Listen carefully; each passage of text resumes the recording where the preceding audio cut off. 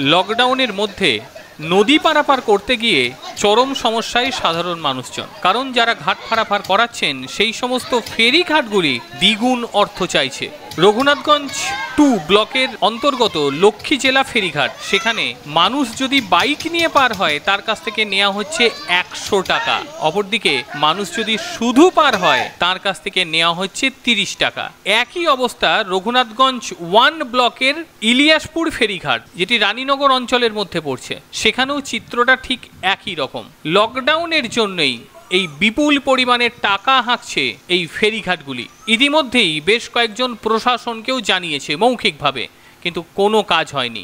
কি বলছে সাধারণ মানুষজন যারা ফেরিঘাটে এসেছেন? চলুন শুনি তাদের বক্তব্য। না মানে আজকে নিয়েছে পঞ্চাশ টাকা এটা এখন যাব নেব পঞ্চাশ টাকা। এর আগে নিয়েছে কত?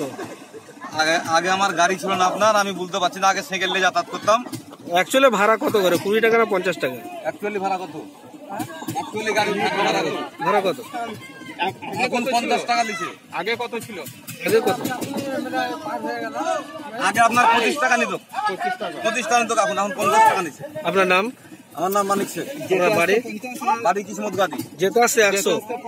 না না একবার একশো পঞ্চাশ নিচে হ্যাঁ মানে যেতে আসতে যেতে আসতে একশো।